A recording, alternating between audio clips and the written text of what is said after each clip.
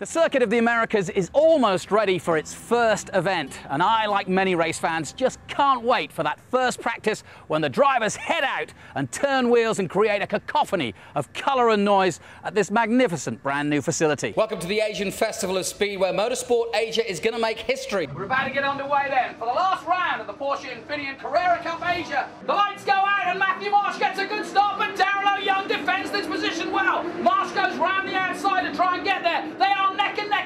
through the first turn. What a great start! Hello and welcome to World Superbikes on Channel 4. Up go the tapes and away goes Hancock yet again. Rickardsson left standing. Matty Zagar in white cuts back on the inside, but on the outside in yellow.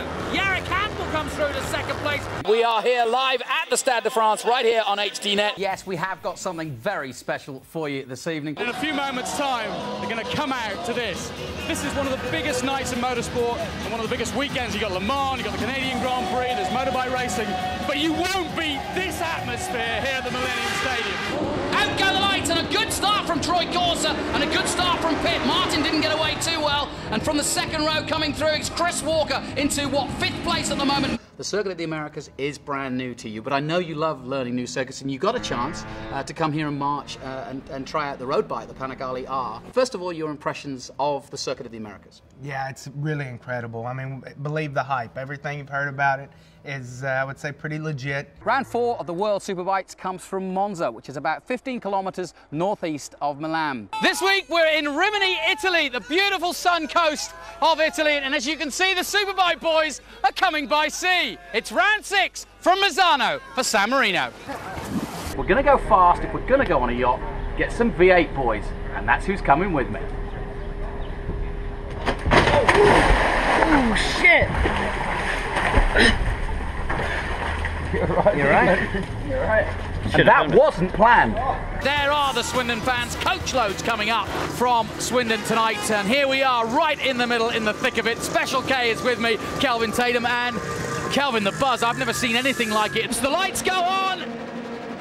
We're racing at Macau for the 52nd time. Loïc Duval gets away well, but so too does a man in second place, Robert Kubica. So with three rounds left, just eight points separated the top four, and the top five could all win the championship, including Frankie Keeley.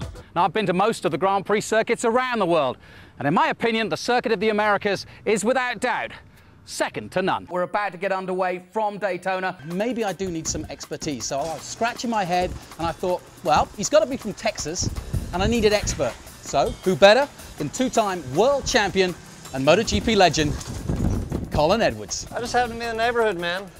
Ouchie is full of stories. And he told me that on a four-day weekend of racing, his staff may repair, change engines, and replace bodywork on as many as 40 different cars and bikes. How excited are you for 2013? Very much, because uh, I come from two difficult uh, season.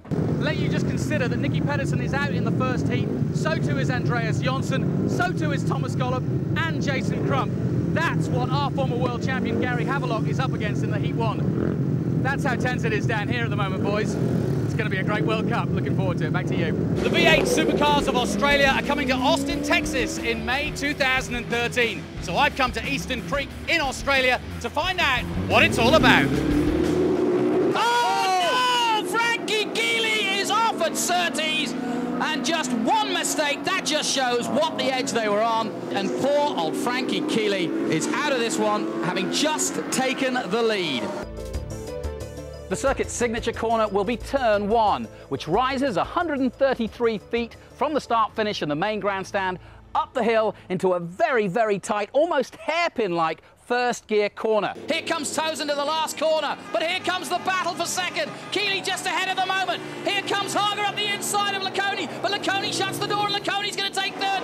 Toseland takes victory. With me, the big man, Martin Johnson, and a big day, really, for American football. And I know you're a big fan. Looking forward to it as an honorary captain. Nice, uh, nice group of uh, cheerleaders there. Jonathan Green here from Sky TV.